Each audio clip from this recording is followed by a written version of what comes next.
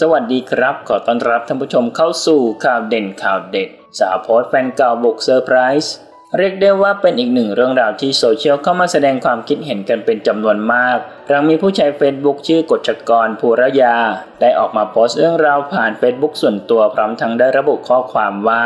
เคยมีแฟนคนหนึ่งคบกันไม่เคยมีความโรแมนติกเลย ไม่หวานไม่ซึ้งไม่เซอร์ไพรส์อะไรทั้งนั้นคบกันได้ปีกว่าก็เลิกกันไป จากนั้นบางทีเวลาเขาเมาก็จะโทรมาหาเรา โทรมาร้องไห้บอกว่าคิดถึง ถ้าวันหนึ่งเขาปรับตัวเองแล้วเขาดีพร้อม แล้วเขาจะกลับมาขอเราแต่งงาน พอวันที่ดรีมรับปริญญา เขาโทรมาหาว่าอยู่ตรงไหน เขามางานของเพื่อนและเขาจะแวะมาหาดรีม เพราะเขามีของมาให้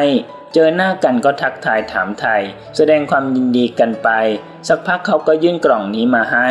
ดรีมก็อึ้งมากไม่ทันตั้งตัวเลิกรักสักพักก็เปิดกล่องดูน้ำตาจะไหล